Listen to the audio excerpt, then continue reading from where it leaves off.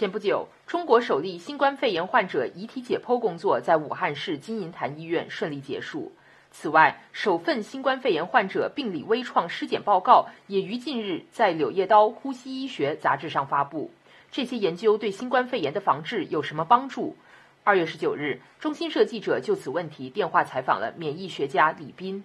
李斌表示，从公开发表的病理微创尸检报告上来看，新冠肺炎造成的肺部病理损伤与 SARS 及 MERS 冠状病毒感染患者非常相像。此外，除了肺部，肝部也发现病变，但尚不清楚是由于病毒感染还是药物损伤造成，这都需要通过解剖研究来证实。病毒的受体是 ACE2，ACE2 这个蛋白实际上除了在这个下呼吸道呃上皮细胞表达以外，还有很多。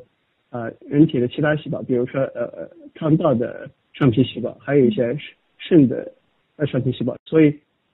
就这就提供了潜在的可能性，就是说这些病毒可能除了在呃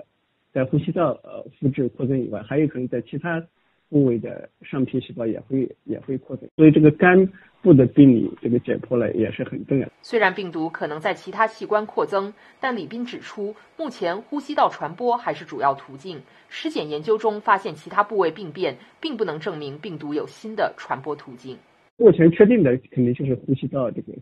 近距离的传播。那么有没有其他的呃途径？现在有些猜测，但还是没有呃证，就是非常呃。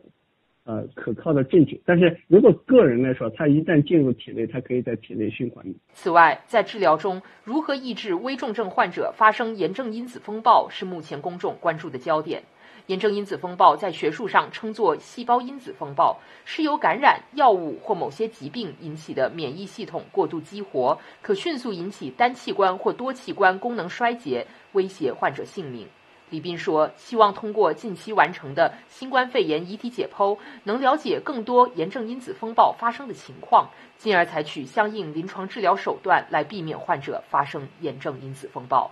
解剖学是，呃，结合免疫组化，结合这些病理分析，能给我们的一些启发。如果我们或者是说，呃，证据，一手的证据，如果我们有的话，那么我们就可以对症下药，实际上实际上是为为后面的治疗服务。更多精彩尽在中国新闻网客户端。